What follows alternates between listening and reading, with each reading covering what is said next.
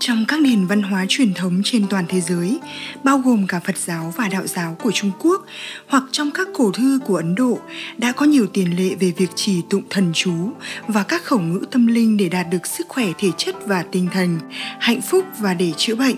Nghiên cứu y học hiện đại đã xác định tiềm năng của việc chỉ tụng thần chú tôn giáo để điều chỉnh chức năng sinh lý và tăng cường sức khỏe có rất nhiều nghiên cứu khoa học đã thực hiện để chứng minh rằng tụng kinh hoặc niệm các chú quyết của các phương pháp thực hành tâm linh khác nhau có lợi cho sức khỏe. Nhiều nghiên cứu khác đã chỉ ra rằng việc thực hành niệm chú có tác dụng tích cực đối với cơ thể con người, bao gồm giảm nhịp tim, cải thiện chức năng hệ tim mạch, nhịp thở chậm hơn, giảm lo lắng hoặc sợ hãi và mang lại giấc ngủ ngon hơn điều chúng ta biết là hữu hạn, trong khi những điều chưa biết là vô hạn. Đối với bệnh tật, chúng ta chưa có thuốc trị được virus. Ngay cả các bệnh thường gặp như sốt siêu vi, sốt xuất huyết, y học ngày nay chỉ điều trị triệu chứng và chờ đợi chờ đợi 7 ngày trôi qua. Bởi vì con số 7 ngày là thời gian virus thông thường tồn tại trong cơ thể. Sau đó, chúng sẽ tự động rời khỏi.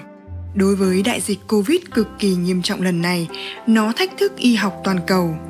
Y học nhận thấy tình trạng bệnh nhân rất thay đổi, các biến thể xuất hiện liên tục, khả năng lây lan cao. Có người nhẹ chỉ bị sốt, ho, người bị nặng có thể suy hô hấp cấp, đột tử. Tuy nhiên, cùng tiếp xúc với virus nhưng có người nhiễm bệnh, có người lại không nhiễm. Y học hiện đại cho rằng miễn dịch của mỗi người không giống nhau còn đông y cổ xưa cho rằng chính khí tồn nội thì tà khí tức là khí bệnh sẽ không thể xâm nhập. Vậy chính khí là gì có thể tạm gọi là nguồn năng lượng chân chính? Ngày nay chúng ta phát hiện ý nghĩ tích cực sẽ đem đến lợi ích sức khỏe. Khoa học cũng phát hiện ý nghĩ có ảnh hưởng đến DNA. Năm 1997, tiến sĩ Masaru Emoto xuất bản cuốn sách Thông điệp của nước – Ông quan sát tinh thể nước khi nghe những thông điệp tốt của con người như trung thực, tôn kính hoặc các trạng thái tích cực như hy vọng, hạnh phúc, tôi có thể, vĩnh hằng thì đều cho ra các tinh thể đẹp mắt. Trong khi tinh thể tiếp nhận được câu tôi không thể lại có hình dạng cho thấy một sự dở dang. Trong dịch bệnh vừa rồi, những người tin vào những giá trị tốt đẹp, chân, thiện, nhẫn đã được ghi nhận như là một kỳ tích khỏi bệnh – các bác sĩ, khoa học gia đã tiến hành nghiên cứu.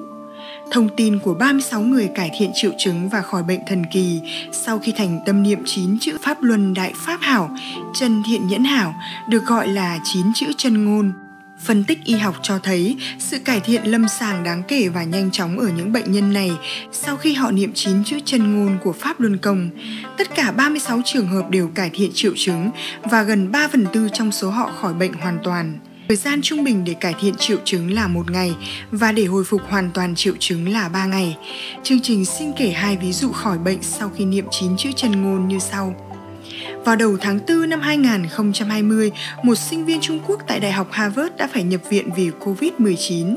Bác sĩ chuẩn đoán anh bị hoại tử 60% diện tích phổi. Về cơ bản không có hy vọng sống sót, bệnh nhân điều trị tại ICU và trong tình trạng bán hôn mê.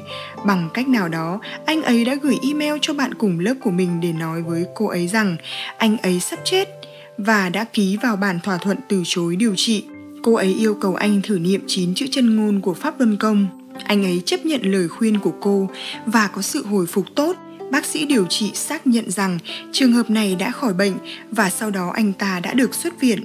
Một bệnh nhân khác là một bệnh nhân nữ 58 tuổi người Thổ Nhĩ Kỳ ở tại Mulhouse, Pháp. Báo cáo vào ngày 21 tháng 4 năm 2020, cô được chuẩn đoán mắc bệnh COVID-19 vào cuối tháng 3 năm 2020. Trong 11 ngày, cô không thể ăn bất cứ thứ gì và cảm thấy đau nhức xương khớp liên tục. Cô kể rằng có cảm giác như rắn và các loại động vật đang cắn xé da, xương và ăn thịt cô. Cảm giác đó thật khủng khiếp. Cô nói, nó tồi tệ đến mức cô muốn chết, cô ấy thậm chí còn có ý định tự tử. Sau đó vào tháng 4, cháu trai của cô ở Hà Lan khuyên cô niệm chín chữ chân ngôn. Ngay khi cô ấy bắt đầu niệm chín chữ chân ngôn, cô cảm thấy sự thay đổi một cách đáng ngạc nhiên. Tình trạng của cô được cải thiện nhanh chóng. Mỗi khi tôi niệm, tôi cảm thấy như mình được sống lại từ cái chết. Cô nói, nó lặp lại nhiều lần, tôi đã làm thế nào? Đây thật sự là một phép màu.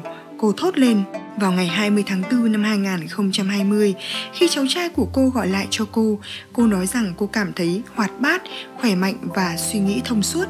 Các nhà nghiên cứu đã xem xét cẩn thận liệu việc niệm chín chữ này có thực sự giúp cải thiện lâm sàng hay không. Trước hết, họ xem xét việc cải thiện qua tác dụng của thuốc, vì một số trường hợp sử dụng thuốc nhưng bệnh tình không cải thiện hoặc tình trạng trở nên tồi tệ hơn. Có một trường hợp sử dụng thuốc giảm đau và cô ấy hồi phục sau khi niệm chín chữ. Hiệu quả này không phải do thuốc giảm đau mang lại vì thuốc đó không có tác dụng kháng siêu vi. Ngoài ra, điều khiến cho các nhà lâm sàng học có kinh nghiệm phải bất ngờ đó là sự cải thiện của 11 bệnh nhân nặng và 3 bệnh nhân ở khoa chăm sóc đặc biệt. Trong khi tỷ lệ tử vong trên bệnh nhân nặng thường khá cao, thì có 10 trên số 11 người sau khi niệm 9 chữ đã phục hồi hoàn toàn, một trường hợp còn lại đang cải thiện. Đặc biệt có 8 bệnh nhân trước đây phản đối pháp luân công cũng có trải nghiệm tích cực tương tự sau khi niệm.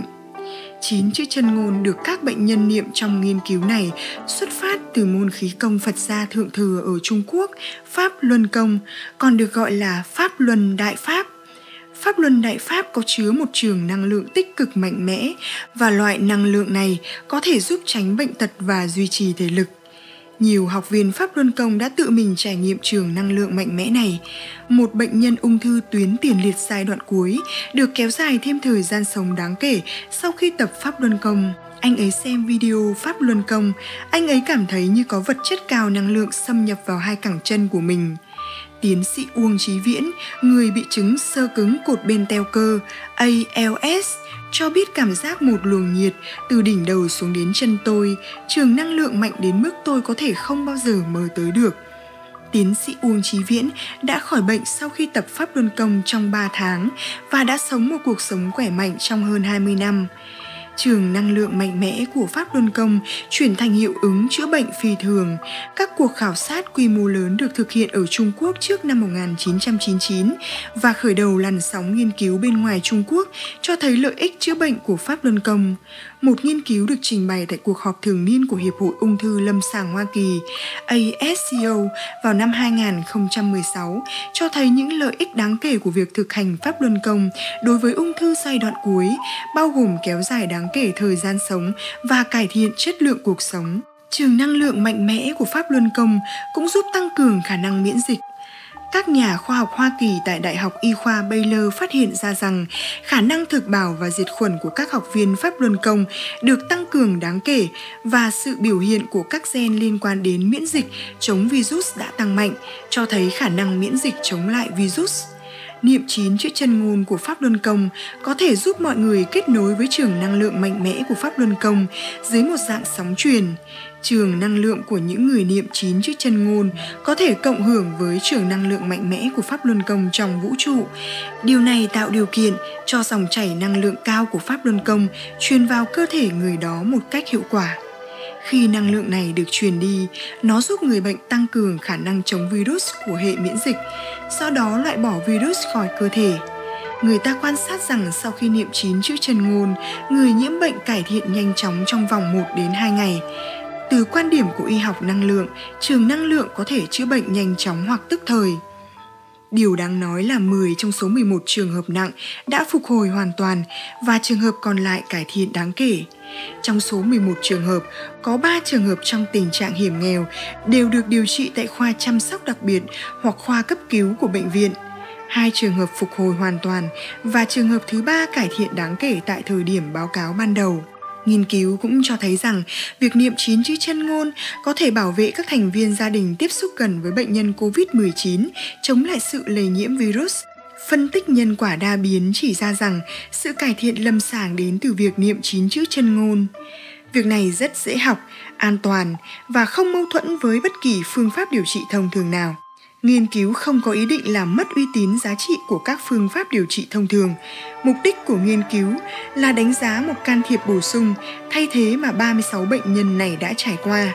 Vì cho đến nay vẫn còn nhiều hạn chế về thuốc cũng như vaccine COVID-19 có hiệu quả được chấp nhận, nên việc đọc chín chữ vàng có thể là một lựa chọn có lợi cho bệnh nhân và những người khỏe mạnh có nguy cơ bên cạnh các biện pháp thông thường.